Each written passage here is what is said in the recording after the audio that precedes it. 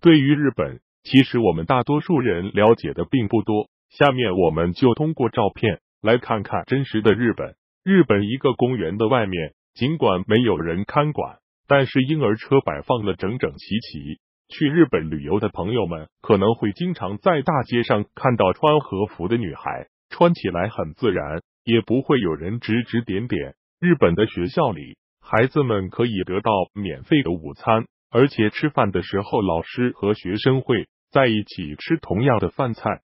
照片中，一个老太太正在过马路，尽管绿灯已经亮起来了，但是所有的车都没有动。静静的等待老太太过马路。日本的女生都有统一的制服，而且无论春夏秋冬，女学生都穿一个不过膝的裙子。日本的一些女孩非常喜欢背名牌包，她们对包包情有独钟，各种名牌包随处可见。这是日本一家售卖各种品牌商品的杂货铺，这里几乎买不到假东西。这也和日本政府对于售卖假货的处罚。十分严格，有很大的关系。